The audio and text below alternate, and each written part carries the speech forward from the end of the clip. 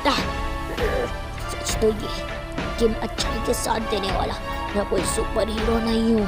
पर अगर पर अगर किसी ने मेरे दोस्तों को चोट पहुंचाई तो उसे कीमत चुकानी होगी।